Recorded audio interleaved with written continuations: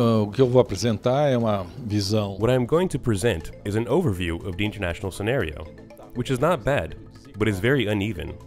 There are certain things doing well in certain regions, and there are others experiencing great difficulty. And there are various influences on Brazil. For example, the demand for agricultural product exports is strong, as it is in China, at the same time that oil is at a very low price. I believe that ore and metals are also at very low prices. But the most important thing is to discuss the local economy a bit. Unfortunately, as everyone knows, it is undergoing an extremely difficult phase. Last year was the worst year in a long time, and this year we are still facing a recession, a situation that will lead to another drop in GDP, two consecutive years of strong decrease in GDP. The situation has not been this bad since the 1930s, just so you have an idea of how complicated it truly is. And there is a certain difficulty because, at the same time, and partly due to the economic situation, we are living a considerable political crisis, and no one knows exactly what is going to happen.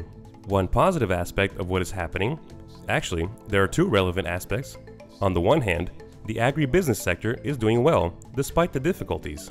And here, for the Arab Brazilian Chamber, what is most important is that exports are growing and will continue growing, and we are once again facing a time when companies are putting forth their best effort to try to sell internationally. I have noticed that one positive thing is that there are increasing numbers of companies adding international sales to their business plans, to their strategy, and this is positive. So, this is what we are seeing. For the first time, we have a crisis situation without a shortage of dollars. The balance of trade is improving. The bank deficit will decrease. The reserves will remain high, and, contrary to past crises, we do not have a shortage of dollars. This is what explains the dollar being 4 to 1. It is essentially the international transactions in United States currency with partners, and the political crisis. So at least we have this comfort.